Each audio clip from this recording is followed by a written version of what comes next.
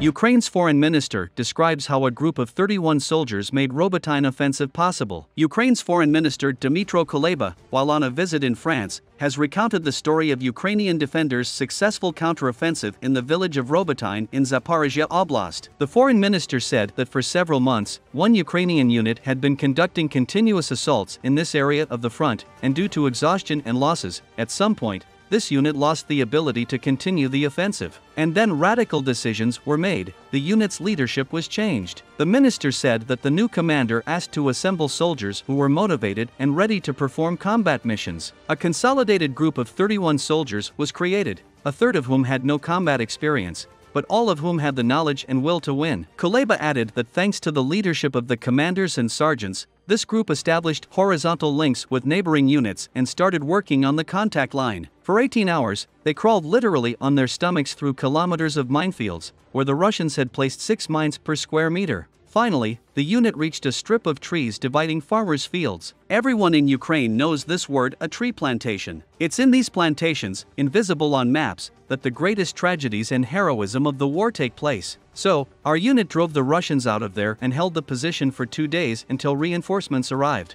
Subsequently, this group walked another 10 kilometers with backpacks weighing 35 to 40 kilograms through minefields. They only had time to catch their breath briefly and immediately stormed the fortified Russian positions, drove the enemy out and held out until the main forces arrived. In total, this unit conducted 6 assaults and 2 reconnaissance missions in 40 days. Group of 31 men did the work of an entire battalion, which should have consisted of about 400 men. The losses amounted to 7 wounded, including only one seriously injured after stepping on a mine. In fact, the work of this group made it possible for an entire brigade to attack Robotyne and liberate it after weeks of assaults. After securing its flanks, we opened the way to Tokmak and, ultimately, Melitopol and the border with Crimea, Kuleba said.